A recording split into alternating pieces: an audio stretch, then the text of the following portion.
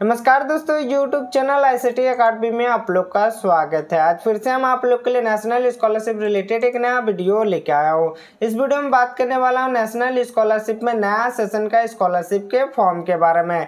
जी हाँ फ्रेंड्स, बहुत सारे स्टूडेंट को स्कॉलरशिप का पेमेंट रिसीव हो चुका है और बहुत ऐसे भी स्टूडेंट है जिन लोग को अभी तक पेमेंट नहीं मिला। तो जिन लोग को पेमेंट रिसीव हो चुका है, उनमें से बहुत सारे स्टूडेंट कुछ दिन से कमेंट कर रहे हैं कि, सर, हम लोग को पेमेंट रिसीव हो चुका है। अभी नया सेशन का स्कॉलरशिप का फॉर्म कब ओपन होगा? हम लोग अभी कब से रिन्यूअल करेंगे? क्योंकि हम लोग को स्कॉलरशिप मिल चुका है। तो रिन्यूअल कब से शुरू होता, कब से स्टार्टिंग होता, कब तक लास्ट डेट रहता, उसके बारे में बताइए ताकि हम लोग को उसका इन्फॉर्मेशन रहे, उसका डेट का पता चले और डेट से पहले हम लोग डॉक्यूमेंट भी तैयार कर ले। तो आज की इस वीडियो में हम आप लोग को नेशनल स्कॉलरशिप में कब स्कॉलरशिप ओपन होता है कब तक लास्ट डेट रहता, सभी कुछ जानकारी इस वीडियो में आप लोग को देने वाला हूँ। साथ ही साथ जिन लोग को पेमेंट नहीं मिला, उसके भी बारे में कुछ नया अपडेट देने वाला हूँ।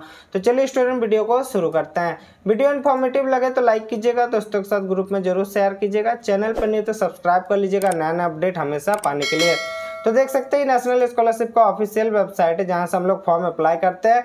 जिनको पेमेंट मिला, नहीं मिला, जो स्कॉलरशिप अप्लाई किए, सभी स्टूडेंट लॉगिन में अपना फ्रेश अप्लाई किए थे तो फ्रेश लॉगिन कीजिए रिन्यूअल किए थे तो रिन्यूअल में लॉगिन करके आप अपना स्टेटस को देखिए। देख सकते हैं स्टूडेंट का स्टेटस इसका दिखा रहा है अप्लीकेशन सेंड टू पी पर पेमेंट और इस स्टूडेंट को पेमेंट रिसीव भी हो चुका है।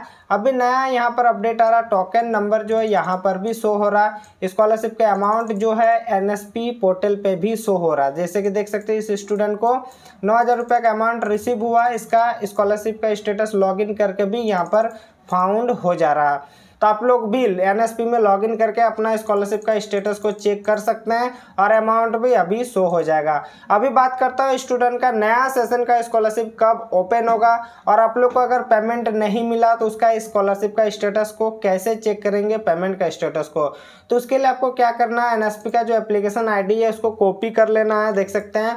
और वीडियो का डिस्क्रिप्शन पर हम आप लोग के लिए इस वेबसाइट का डायरेक्ट लिंक दे दिया हूँ। Check NSP scholarship status by application number account account number यहाँ पर क्लिक करना है, जैसे क्लिक करेंगे तो आपके सामने इस तरह का इंटरफेस ओपन होगा और यहाँ पर आप लोग चले जाएँगे check status by application number और क्लिक हेयर में जैसे क्लिक करेंगे तो इस तरह का इंटरफेस ओपन होगा। फिर यहाँ पर एप्लीकेशन नंबर फिल करेंगे, ये कैप्चा कोड यहाँ फिल करके सर्च करेंगे।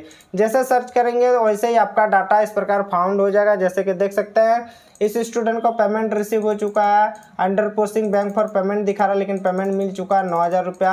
और एक स्टूडेंट का स्टेटस चेक कर रहे हैं तो इसका भी बारह हज़ार रुपया का स्कॉलरशिप का पेमेंट मिल चुका है। इस प्रकार स्टेटस को आप लोग यहाँ से चेक कर सकते हैं। पेमेंट सक्सेस दिखा रहा है। अंडर पोस्टिंग मिनिस्ट्री क्या दिखा रहा आप लोग कमेंट में ज़रूर बताइएगा। अगर आपका पेमेंट सक्सेस दिखा रहा और आपके बैंक अकाउंट में नहीं आया तो आप बैंक में जाकर पता करेंगे या फिर आधार सीडिंग बैंक अकाउंट पता करेंगे कि आपका कौन सा अकाउंट में एन लिंक है। मतलब हो सकता है आपका एक से ज़्यादा अकाउंट है, दो तीन अकाउंट और किसी एक अकाउंट में आपका पैसा चल गया।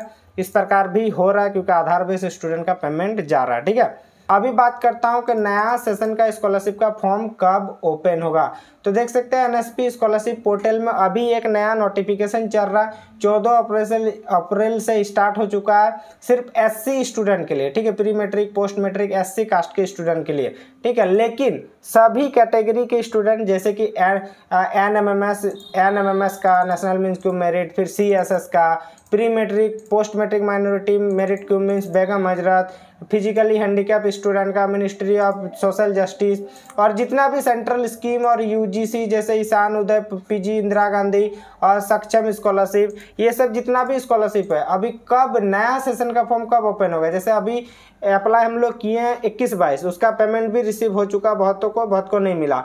अभी बाईस तेईस का सेशन का फॉर्म कब से ओपन होगा? तो आप लोग को बता दूँ कि अगस्त में स्कॉलरशिप का फॉर्म ओपन होता है नेशनल स्कॉलरशिप का। पिछले साल, यानी कि मतलब ये सेशन का 21 बाईस का निकला था 14 अगस्त को नोटिफिकेशन आया था 16 17 अगस्त से स्टार्ट होना मतलब अप्लाई होना स्टार्ट हो गया था।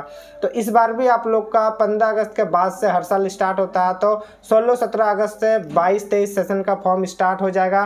तो आप लोग अगस्त में डॉक्यूमेंट को रेडी कर लेंगे, जैसे इनकम अगर बनाना इनकम बना लेंगे, जाति कास्ट जितना भी डॉक्यूमेंट उसको बनाना चालू करेंगे कब से? अगस्त में। क्योंकि अगस्त के बाद से सितंबर, अक्टूबर, नवंबर, दिसंबर चार महीना तक स्टूडेंट के हाथ में समय रहता है स्कॉलरशिप अप्लाई करने का। तो आप लोग का अगस्त से लेकर दिसंबर, जनवरी तक स्टूडेंट का फॉर्म अप्लाई होता है।